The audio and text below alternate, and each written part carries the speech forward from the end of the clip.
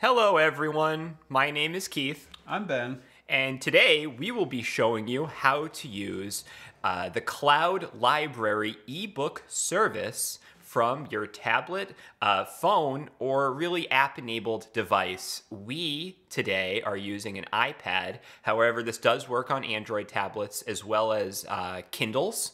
Um, however, there's a few more steps involved with getting it to work with a Kindle Fire, uh, and we will provide a link with this video that walks you through how to get it. But otherwise, you're just going to be going to your App Store, searching for Cloud Library, and downloading it. On our iPad here, Cloud Library is already downloaded, so we are just going to click it to open it. Okay, so when you first uh, open Cloud Library, you are greeted with this lovely welcome screen that gives you really just one option. You can select a language. And English is the first language, uh, but if you want any other language, you can. There's a whole bunch to choose from. Yep. so um, for our purposes, we'll be leaving it on English and Yep. tapping anywhere to go to the next screen. So now we're presented with three things. It's asking for what country we live in. This is offered in many countries. We are in the United States, so we're selecting United States. Then we're selecting state. We're in Maine. We happen to fit at the bottom, which is convenient. And then we're selecting library. Unfortunately, Rockport is low on the alphabet, so Ben has to scroll quite a Oh, bit, missed it. But he went too far. There we go. Okay, yeah, nice job, then. And then hit next. Okay. So now uh, it's asking us if we agree to the terms of service. So um, I'm just gonna start reading, and Keith, you uh, stop me when you think I should stop. Uh, this end user license agreement. all right, Ben, that's a- good. Thank you. Okie doke. Thank so, you. So, like a normal person, we're not going to read any of that and hit accept. Um, and now we have to enter our library card ID. Thankfully, uh, we had a card donated to us by the very generous Teddy W. Bumblebridge, and we will be entering his card number there. Uh, his card number, of course, is 24856 000 108 990. Now, don't you guys go using Teddy W. Bumblebridge's card at home. No. He would not like that. No, no. We're gonna press join, and there we are. This kind of guides you through uh, what the cloud library has to offer. You can also just press skip down Yep. at the bottom. We will be skipping it. We're the tutorial. We don't need a tutorial. No. We are the tutorial. Yes. Yeah.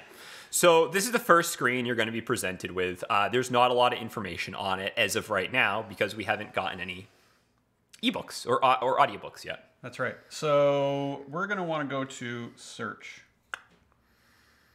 and it's just gonna take a moment to load up.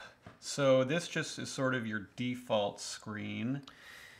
And it's showing a bunch of different featured subjects, basically. I think at the top we see the Maine student book awards for 2019 2020, and then it's showing us recent fiction, uh, so newer fiction, um, and, but it does denote that it's ebooks, right? And then beneath that, there's one that says recent fiction audiobooks. Yeah. Um, usually the subject, those that text will tell you what it is, but also any audiobook, and hopefully you can see this on uh, the screen. It has a little, uh, you know, headphone symbol in the top right corner, showing that you will be listening to it with your ears, not your eyes.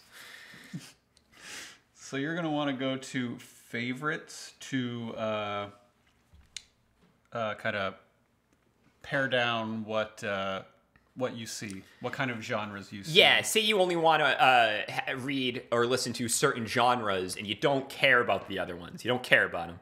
You can pick the ones that you do want to see. So, Ben, let's go. All right, so uh, Teddy Bumblebridge. Uh, let's see. What type of books interest you? Adults. Uh, do you prefer fiction or nonfiction? We're going to say fiction. We're going to press next. All right, that's going to take us to all sorts of different. Uh, Yeah, different subjects, basically, that you can pick. They're all uh, alphabetical um, and laid out in a, in a very, very nice way. Um, So, so uh, so you can just like kind of click mystery and detective. Love those sea stories. Can't get enough of them. Um, and then we're gonna go up here. We're gonna press save. Uh, let's see. So, so those preferences are saved now, and this message here with the tiniest text possible is telling you that you can edit those, either subtract or add more, by hitting the pencil the icon pencil. on the very top right. We're gonna press OK though. And now it's showing us all of our favorite things. Yep. So some of them were already selected beforehand. We added a few others. Teddy always Yeah. loved ghosts. He always loved werewolves. Definitely loved shifters. Um, this is this is perfect for Teddy. Yours may be different. We don't Yeah. know. Pick what you'd like. Um, but this this is showing you all the books, and you can. There's books. Ben, what about the books we can only see part of on the right side of the screen? How do we? What are those? They're like kind of cut off on the right side. Oh, we just kind of scroll. They scroll, They scroll. and you just kind of touch and move. Yep, you just Wow. touch and move. You can just keep going. More will load up as you scroll. It's infinite books. Yep. Uh, let's see here. Uh, right now, it's showing us books that are available and unavailable. Oh no! I I want a book now. Well, Keith. Oh, not that one. You want to press this funnel right here. This kind Oh, of course, the symbol. funnel icon, right? You're going to want to press that, and this will show you formats. You can choose to only see ebooks. You can choose to only see audiobooks. We are seeing both. You can choose available now. That's what That's what I want. I want stuff that's, that's available now. Yeah, you want to be able to check out stuff now. You can do languages. Um, so we have uh, right now we have ebooks and audiobooks, and we are seeing only ones that are available right now. So we're going to press save. It's going to change what we see a little bit. So um, let's look for a book to check out. We're going to check out Dragon Teeth Classic, by Michael Crichton. classic. Um, so you would just press borrow. And then you can either press read. You can also go to my books. That's what uh, the my book screen looks like when you have something checked out. Press read. It's going to download it. And uh, ebooks will download rather quickly. It's only going to be like a few megabytes for an ebook to download. If you were to download an audiobook, it's going to be hundreds, if not thousands. Of megabytes. Uh, so, so, so then the recommendation would be maybe don't use your data plan. Maybe try to be in Yeah. a wireless network at home before you download an audiobook, or else you're going to be using up to you know Yeah. and possibly over a gigabyte of data. If you don't know what that is, it's just a bunch of Yeah. it's just a bunch of bits and bytes. So here's the So here's the cover. Um, we can just click on the right side of the screen and that is that's basically turning the page. We got a little map here.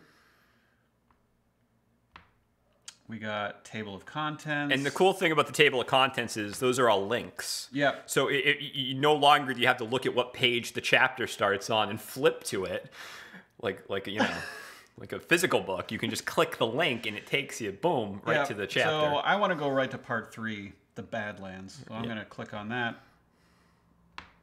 There I am. Wow. Um, what if I want to make the text bigger? Sometimes you want to. You can just so you can click anywhere on the screen, kind of in the center. Go up there, and there's a A minus and an A plus, and you can just press the A plus. Text will get bigger. Then just go crazy with the A plus button there. Oh, you can just get as big as you want to. Yeah, that's great. and then you can get smaller. There is uh, right now we're in day mode. There's night mode.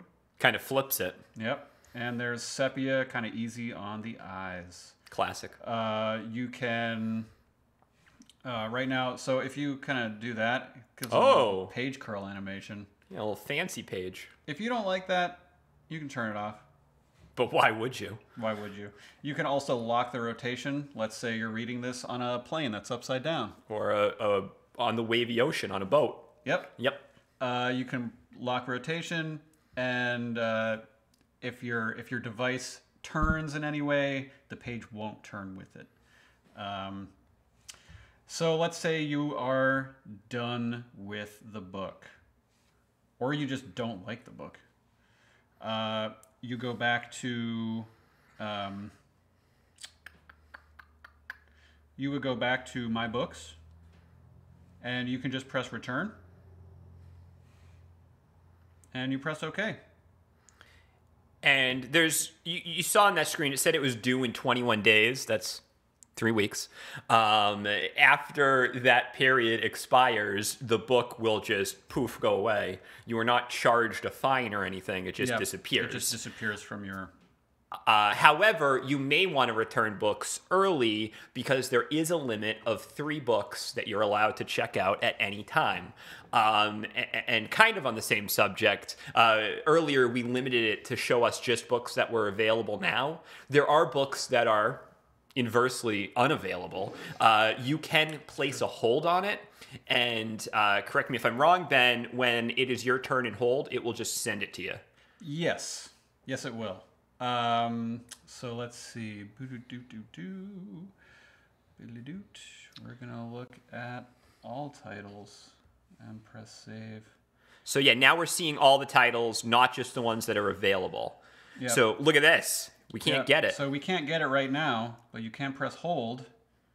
Uh, if you would like to receive an email notification, you can press OK, put in your email. Otherwise, you can press no, and it will just load on to your uh, to your device, but it just won't notify you.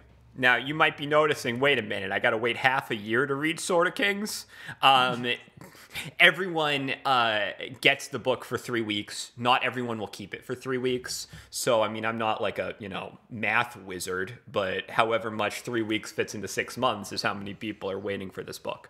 So um, that's why sometimes you're given an absurdly long length of time, but uh, it likely will not take that much time. Yeah.